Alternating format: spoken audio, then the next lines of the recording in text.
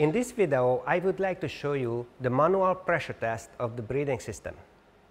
The VETA 5 machine can pressure test the circuit automatically, but the VETA 3 doesn't. Hence, you need to be able to perform a manual pressure test. Nevertheless, even after the automatic pressure test of the VETA 5, I recommend also performing a manual pressure test from time to time. Despite the VETA 5 is designed for automatic pressure testing, a manual pressure test is still possible and useful. At first, you should properly assemble the whole breathing system. So make sure that the ACGO button is switched into the correct position. Check the domes of the one-way valves that they are secured in position. Check this selector valve and put it into manual rather than to automatic mode. You should have a soda lime canister which is filled up to about 70 percent of its volume with a sufficient quality of soda lime.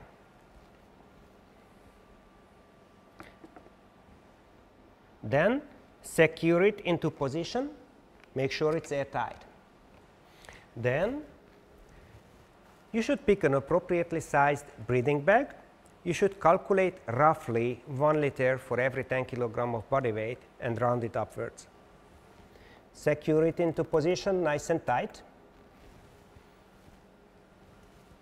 Then you pick your choice of breathing hoses.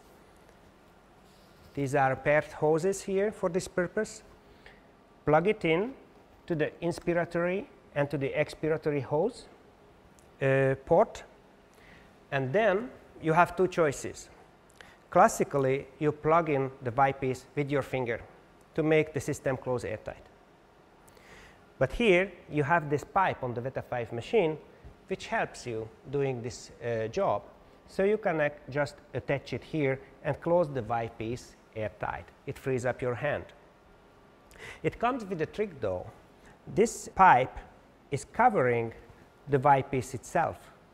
So if you have a small crack on the Y piece, it would be covered by this pipe and it would pass the pressure test even though it leaks.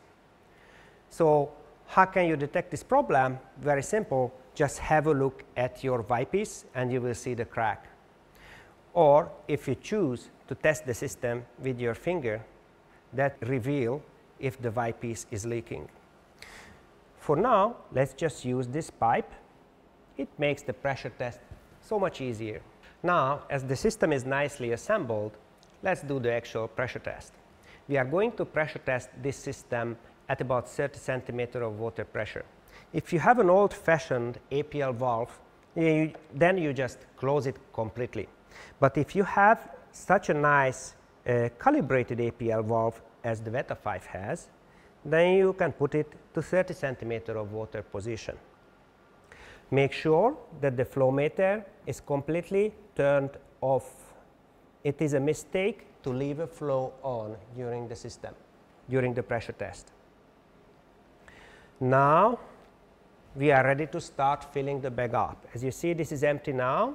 I am going to press the flush valve to fill this up. You hear there is a hissing noise.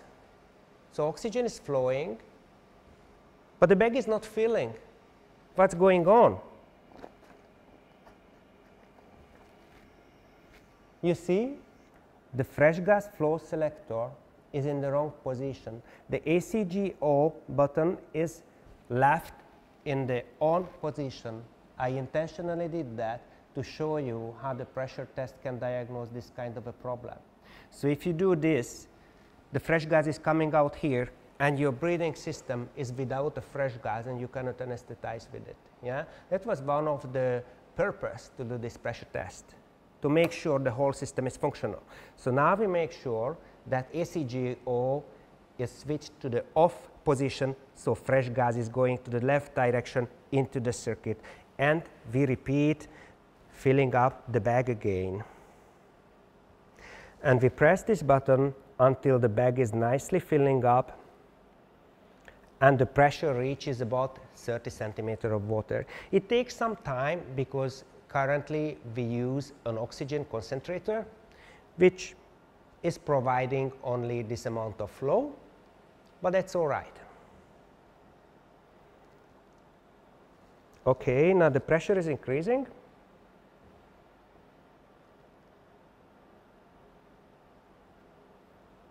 And it reached 30 centimeter of water. Now I release the flush valve and observe the pressure gauge. Because there is no inflow to the system anymore, the only outflow from the system is the leakage and that's what we are testing. So, if the pressure is stable means there is no leakage. If the needle of the pressure gauge is slowly decreasing, it means you have a leakage. This case it's perfectly stable. No wonder this is a brand new system. Why would it leak? It's perfectly airtight. This system passed the pressure test. In case you detect here a decrease in pressure, it means you have a leak. There is a way that you can actually quantify how much leak you have and that's where you can use the flow meter. So, uh, the leak is uh, a gas flow outwards from the system. So, let us give him an inflow with the flow meter and titrate it exactly to balance out the movement of the pressure gauge and stabilize the pressure in the system. When you find that exact position, when the pressure gauge is stable, it means that the inflow on the flow meter equals the leak that is the outflow of your system. This way you can read the flow meter and this quantifies your leak of your system and uh, it's commonly recommended that 200 milliliter per minute is the maximum leak that can be allowed in a small animal anesthesia machine. If you have a problem with that and the leak is bigger than that, you have to recheck the whole system again. Touch everything, make sure everything is in the right position, check everything, whether there is a crack, check the airtight positioning of the whole system. Sometimes you find that it's not turned on tight enough. And you can check the breathing bag. I often used to pull it down a little bit. It reveals holes at the, at the neck part of the breathing bag. It's commonly getting more abused here at this part. And when they are getting old, uh, it's uh, there can be holes there. So, you can, you can reveal it if you pull it a little bit down. And if you see that the breathing bag is not perfect, I immediately take them off, rip it apart and throw it away. Don't give it a chance that anybody else will use it later on.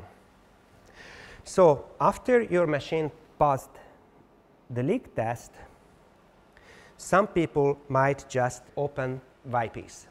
This is not good because uh, the pressure would decrease instantly and there would be a flush of fresh gas uh, coming from the soda lime and it could mobilize toxic soda lime dust and push it into the breathing circuit and offer it for inhalation for the patient, which is obviously not good for, for the lungs. So, what should you do instead?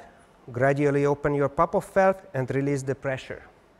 This way you do not have the fresh gas uh, puff and also you test your pop-off valve that it actually opens.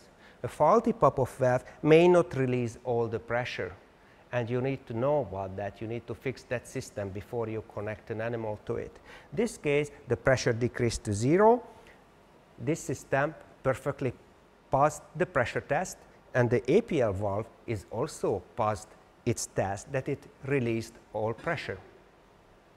My name is Dr. Tamás Ambrisko and I'm a veterinary anesthesiologist. Thank you for watching.